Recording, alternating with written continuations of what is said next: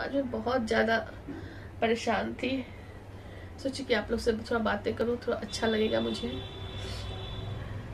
कल सुबह देखते हैं क्या करते हैं। हाय फ्रेंड्स और आज है तारीख छ मई और रात के करीब साढ़े नौ, सवा नौ हो रहे हैं रात के। और अभी एक दो दिन से मैं वीडियो नहीं बना पा रही हूँ क्योंकि अभी आप लोग को मेरी आवाज़ से भी लग रही होगी, मेरी तबीयत ठीक नहीं है, थोड़ा सा कफ हो गया है, कोल्ड हो गया है, खांसी वगैरह, ये सब हो गया है। और और आज अभी रात में मैं वीडियो बना रही हूँ, मेरी तबीयत भी ठीक नहीं है, लेकिन मैं आप लोग के साथ कुछ शेयर करना चाहती हूँ। शेयर ये कि कल है सात मई, कल है सात तारीख, सात मई है, जो कि मेरे परिवार के लिए बहुत बहुत ही मतलब बुरा डेट है, दिन है, जो भी है, क्योंकि कल एक साल हो जाएगा। एक साल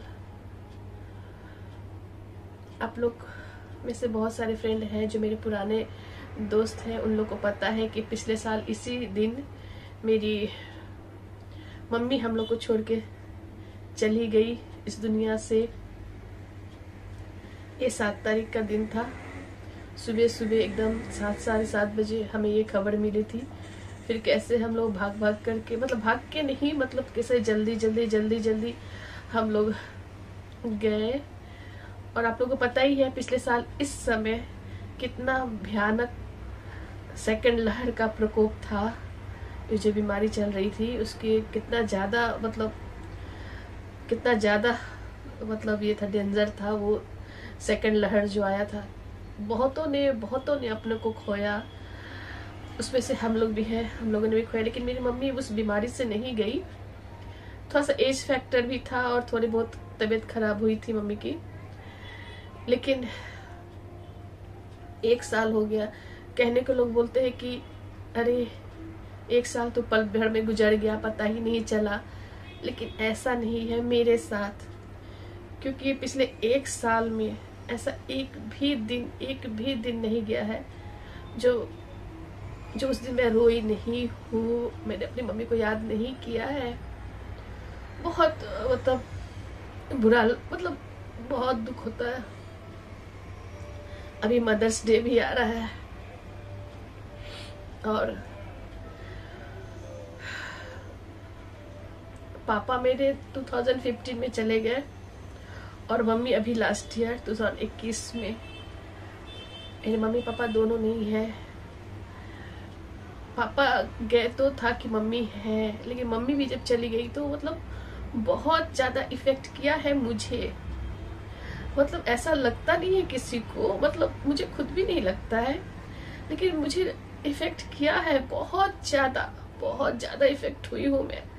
आज भी मैं, क्योंकि पिछले एक साल में मैं बहुत बीमार पड़ी हूँ। इतना बीमार मैं कभी नहीं पड़ती हूँ। पड़ती थी लेकिन पिछले एक सालों में मैं बहुत बीमार पड़ी हूँ। सोच सोच के या जो भी है। क्योंकि मम्मी थी ना तो एक आदमी क्योंकि मेरे भाई है, भाई लोग हैं, भाभियाँ हैं, सब बहुत अच्छी है। बहुत अच्छी है। लोग मेरा भी ध्यान रखता है, मुझे कॉल करता है, मेरा हाल चाल सब अच्छा है। ऐसा कुछ भी नहीं है कि मतलब में मेरा मम्मी पापा नहीं है तो कोई नहीं है, नहीं, मेरे भाई, भाभी सब लोग बहुत अच्छा है। लेकिन कहते ना, वो माँ बाप का दर्जा कोई नहीं ले सकता, कोई नहीं ले सकता। मेरी ना आदत थी, मम्मी मुझे रोज फ़ोन करती थी, डेली। उनको भी लगता था कि जैसे कि मतलब सुबह काम से मैं फ्री हो जाती थी, ग्यारह बारह बजे, मम्मी का कॉल ज़रूर आता था, ग्यारह बारह इस सब के बीच में उनको मम्मी को भी पता था कि इस समय थोड़ा ये फ्री होती है, उसमें कॉल करती थी। मम्मी अगर जिस दिन नहीं करी तो मैं करती थी कॉल कि आज मतलब अगर मैं जल्दी फ्री हो गई तो मैं ही कर दी पहले फ़ोन और हम लोग बातें करते थे। बाई चांस किसी दिन ऐसा होता था कि मम्मी ने कॉल नहीं किया और मैंने भी मतलब मैं भी कुछ में बिज़ी हो गई या कुछ हो गया तो मैं फ़ोन नहीं कर पाई। तो क्या था, मेरे हस्बैंड वो भी इतने अच्छे हैं। वो अगर रात में ऑफ़िस जाए हैं तो कभी ऐसा वो पूछते थे, क्या हालचाल है? मम्मी से बात हुआ? मम्मी कैसी है? तो मैं बोलती थी, आज आज तो मम्मी से बात ही नहीं हुई मम्मी ने फ़ोन ही नहीं किया था। तो बोला, आपने फ़ोन क्यों नहीं किया फिर? अभी करो आप। तो फिर मैं बात करती थी, मेरे हस्बैंड भी इतने मतलब अच्छे हैं तो उस समय मैं कॉल करती थी, या अगर किसी दिन मम्मी का फ़ोन नहीं आया, मैं नहीं कर पाई उस दिन तो मैं सोचती थी क्या बात हो गया आज मम्मी का फ़ोन नहीं आया, मम्मी से बात नहीं हुई। या मैं सोचती थी कॉल करने का, फिर लगता था ये टाइम सही है, पता नहीं मम्मी आराम कर रही होगी, मम्मी सोई होगी या कोई आ गया है, मम्मी ने कॉल नहीं किया है। तो मैं तुरंत तो भाई लोग से पूछती थी कॉल करके सब ठीक है ना, मम्मी ठीक है ना? बोले हाँ मम्मी ठीक है। कोई आ गया था, मम्मी बिज़ी थी या फिर ऐसा मेरी तबीयत भी ठीक था हाँ मम्मी एकदम ठीक है। तो मैंने, ऐसा था कि मम्मी से रोज बात होना ही होना है। ऐसा शुरू से, ऐसा नहीं कि अभी। शुरू से जब से, शादी के बाद ही जब से मैं मुंबई आ गई उन्नीस साल हो गया मुंबई आ गई तो हर दिन मम्मी का फ़ोन आता था। और अभी क्या है ना सिचुएशन कि वो जो टाइम है ना, ग्यारह बारह एक का बीच का जो टाइम है, वो टाइम मुझे बहुत मतलब बहुत बुरा फील होता है उस टाइम पे। मुझे मतलब लगता है कि मैं क्या करूँ? मैं किससे बात करूँ? मैं कहा जाऊँ? मैं क्या करूँ? मतलब इतना मन ये छटपटाता है, होता है कि मैं भाभीियों से बात कर ले रही हूँ, ठीक है। उन लोगों को फ़ोन लगा दिया, वो लोग ही फ़ोन कर लेते हैं। वो लोग भी फ़ोन कर लेते हैं, लेकिन बहुत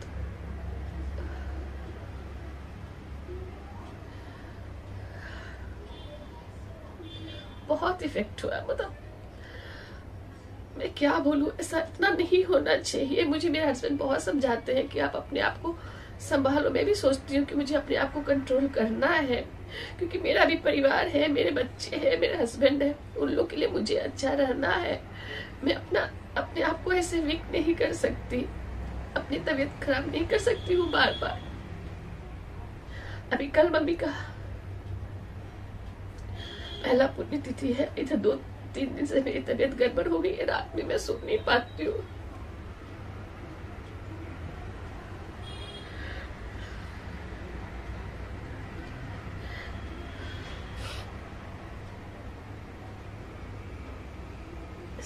सॉरी फ्रेंड्स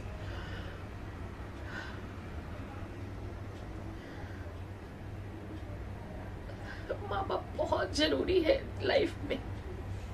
पता है जिस जो लाइक दुनिया में आता है, उसे एक दिन जाना ही है। उसे हर किसी को एक दिन जाना ही है। हम भी जाएँगे।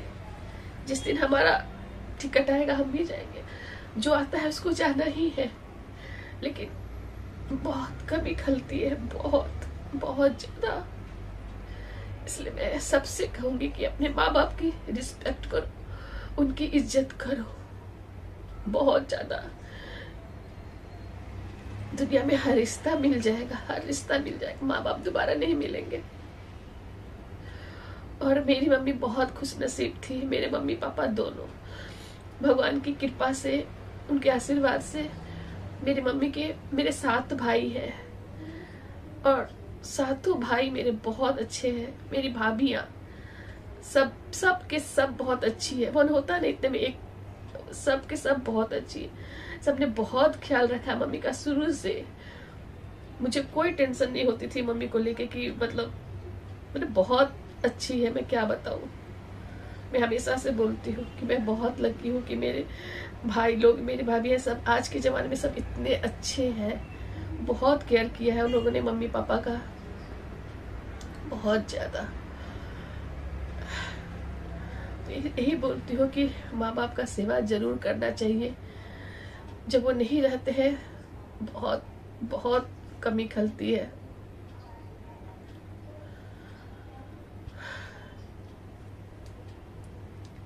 आज भी ये दिन याद आता है ना, सारा में।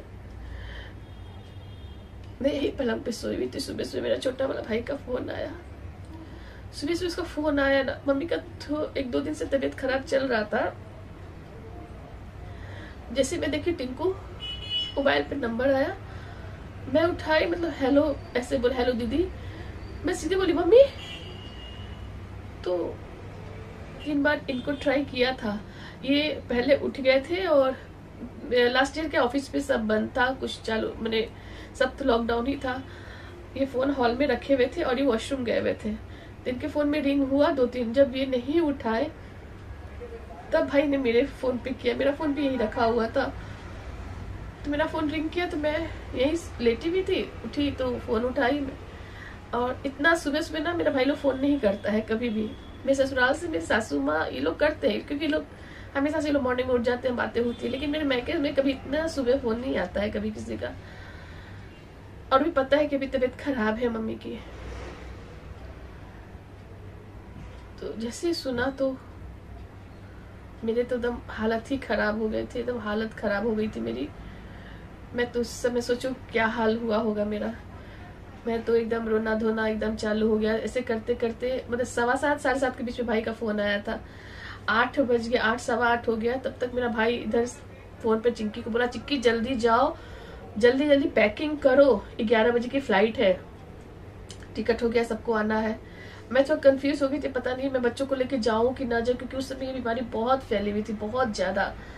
फिर वो नहीं सबको आना है। हमने अब जो होगा देखा जाएगा। चलो सब लोग साथ में ही रहेंगे। मतलब कैसे कैसे मतलब होते ना, कपड़े उठा कर चिक्की बस ऐसे बैग में डाली, सब कपड़े डाली। ग्यारह बजे की फ़्लाइट थी कैदे सब लोग आठ बजे निकल जाना था घर से। और हमारे घर से नवी मुंबई से सांता क्रूज एयरपोर्ट करीब करीब एक डेढ़ घंटा लग जाता है जाने में। और उस दिन मॉर्निंग था, हुआ था कि ट्रैफ़िक नहीं रहेगा, लेकिन बहुत ट्रैफ़िक मिली। पता नहीं रोड उस समय बन रहा था, क्या हो रहा था। हम लोग लगा कि हम लोग पहुँच पाएँगे कि नहीं? पहुँचे लेट तो हो गई थी हम लोग। और ग्यारह बजे की फ़्लाइट थी, लेकिन फ़्लाइट खुली बारह बजे। एक घंटा फ़्लाइट लेट थी उस दिन। ट्रेन लेट ये लेट सब सुनते हैं फ़्लाइट भी लेट एक घंटा। और कैसे कैसे हम लोग भागे पूरा घर वर ऐसे ही छोड़ करके, किसी तरह मतलब चिंकी सब सामान रखी, मुझे तो कुछ होश ही नहीं था। मतलब मैं इतनी ज़्यादा ये हो गई थी। चिंकी, ध्रुव मिलकर, रंजन जी फटाफट से जो भी मतलब दवा वगैरह, जो भी डॉक्यूमेंट वगैरह लगता, सब वो सब रखने लगे और चिंकी बस कपड़े वगैरह रखी। एक दिन पहले ये इतनी सारी सब्ज़ियाँ वगैरह सब लाए थे, सब जल्दी जल्दी वॉचमैन को बुला के सारा कुछ दिया गया, कुछ रह गया। फ्रिज व्रिज सब अपने बाद में तो मैं दिखा ही थी, आप लोग को आने के बाद, क्योंकि फ्रिज भी खराब हो गया था बाद में। क्योंकि मैं डेढ़ महीना रह गई थी पटना में।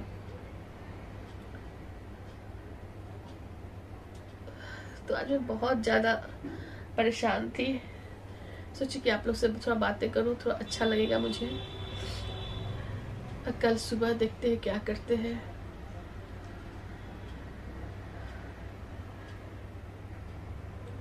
बस मेरी तबीयत अभी ठीक नहीं है, दवा चल रहा है। खांसी है बहुत, यहाँ पेन हो रहा है बहुत ज़्यादा मुझे।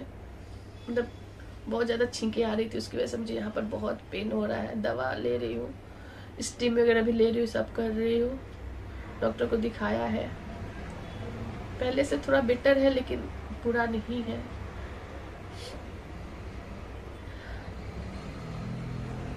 चलिए बाय